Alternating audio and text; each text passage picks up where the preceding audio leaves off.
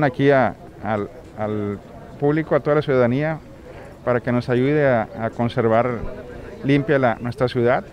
Este, estamos iniciando campañas para, para hacer precisamente eso, limpiar eh, la ciudad y crear esa cultura ¿no? de, de, orden y limpieza. Entonces sí se empezó ya a aplicar sanciones a las personas que se sorprendan haciendo ese tipo de, de pues de, de actividades ¿verdad? que nos afectan a todos. ¿no? Han implicado seis multas hasta el momento.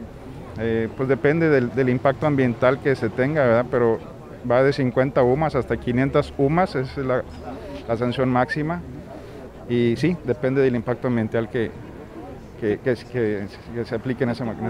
Escombro, basura, ramas, se tienen los, pues sí, ya el, los puntos donde se debe de, acopiar eso, ¿verdad? Que, ya lo sabemos todos. ¿no? Son particulares. Las empresas, pues ya saben ellos que deben hacer un contrato especial con la compañía de Veolia para que se acopie ese, ese, esa basura o ese residuo.